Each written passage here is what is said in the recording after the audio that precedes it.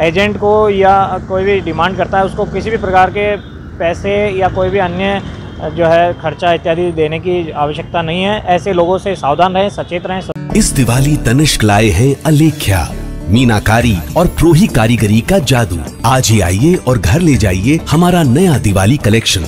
Gold jewellery की making और diamond jewellery की वैल्यू पर अप टू 20% परसेंट ऑफ़ के लिए visit Tanishq jewellers, India motor circle, Ajmer. शर्तें लागू।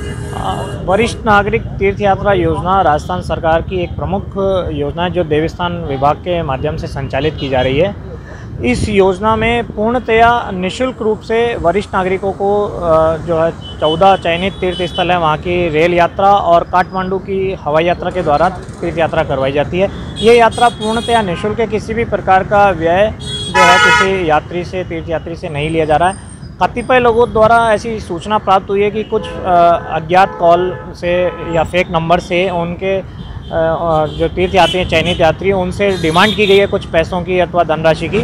तो आम जनता से यही अपील है कि यह यात्रा पूर्णतया निःशुल्क है। राजस्थान सरकार के और आईआरसीटीसी के द्वारा जो है संयुक्त तत्वावधान में राज्य सरकार के व्यय पर करवाई जा रही है। इसमें किसी भी व्यक्ति को, किसी संस्था को, किसी भी एजेंट को या कोई भी डिमांड करता है, उसको किसी भी प्रकार के पैसे या कोई भी अन्य जो है खर्चा इत्यादि देने की आवश्यकता नहीं है। ऐसे लोगों से सावधान रहें सचेत रहें सतर्क रहें और पूर्णतया निःशुल्क ये यात्रा कराई जाती है। इसलिए आम जनता से सावधानी बरतने की अपील है। यदि कोई इस प्रकार का कॉल या कोई ठग के द्वारा यदि आपके अगर संपर्क होता है तो उसकी सूचना पुलिस को अथवा देवस्थान विभाग को या प्रशासन को प्रदान करावें।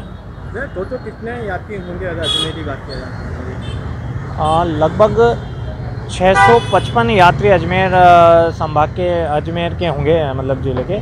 और कुल राजस्थान में बीस हज़ार यात्रियों को ये यात्रा कराई जाएगी, जिसमें से दो हज़ार यात्रियों को हवाई जहाज़ के द्वारा और अठारह हज़ार यात्रियों को रेल के द्वारा विभिन्न तीर्थ स्थलों की यात्रा कराई जाएगी।